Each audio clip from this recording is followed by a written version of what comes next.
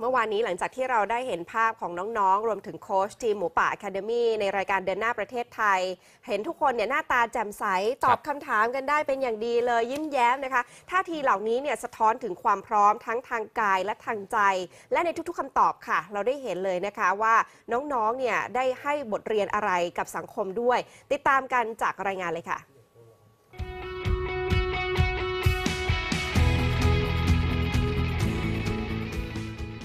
รหัสจากภาพน้องๆ ทีมหมูป่าอะคาเดมี่โชว์ทักษะทางกีฬาด้วยการเดาะบอล ในรายการเดินหน้าประเทศไทย ก่อนเปิดใจให้สัมภาษณ์ทุกแง่มุมชีวิตภายในถ้ำหลวง แสดงให้เห็นถึงความพร้อมในการกลับไปใช้ชีวิตตามปกติ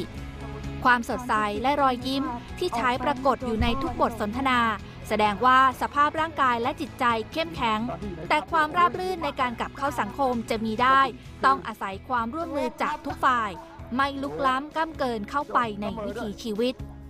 เขาอาจจะให้เห็นว่าก็เด็กก็มีสุขภาพอนามัยที่ดีทั้งกายทั้งใจดูหน้าตาเขาคงรู้นะ เพราะฉะนั้นในช่วงหัวเลี้ยวหัวต่อ ซึ่งหลายคนก็อยากจะเอาเข้าไป เรียกว่าเอาไปออกออข่าวเพื่ออยากให้ประชาชนได้รับรู้ผมยังยืนยันตรงนี้ว่า ถ้าทำเพื่อประโยชน์ของเด็กต้องพิจารณา ให้ดีว่าสิ่งที่เอาไปเนี่ยเกิดประโยชน์กับเด็ก หรือเกิดประโยชน์กับผู้ที่นำไป สอดคล้องกับจิตแพทย์ที่ระบุว่าคำตอบของน้องๆทีมหมูป่าอะคาเดมี่เผยให้เห็นถึงความรู้สึกที่ติดค้างในใจ2เรื่องคือ 1. รู้สึกผิดต่อครอบครัวที่ไปไหนไม่บอกกล่าว สะท้อนถึงความห่วงใยที่มีให้กันและกันในครอบครัว สามารถดูไว้และนำไปปรับใช้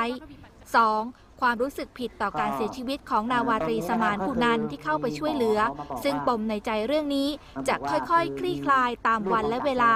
แต่สังคมไทยต้องไม่ตอกย้ำหรือกระตุ้นด้วยคำถามซ้ำซากที่ได้เสียสละทั้งกายและใจคือโดยปกติแล้วเด็กๆก็จะก้าวข้ามไปได้ ในระยะประมาณสักเอ่อเนี่ยฮะสองอาทิตย์ถึง 1 เดือน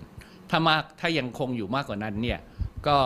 อาจจะขึ้นอยู่กับปัจจัยของเด็กแต่ละบุคคลเองนะครับ ซึ่งมีความเปราะบางไม่เท่ากัน ตรงนั้นเนี่ยคงเป็นการดูแลช่วยเหลือของทางทีมสาวิชาชีพ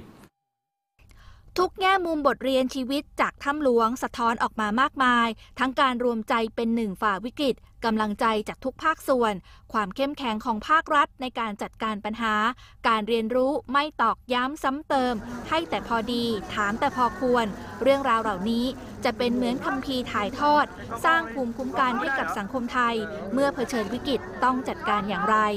สิริธรพัตตภูมิชัย สำนักข่าวไทย อสมท รายงานค่ะ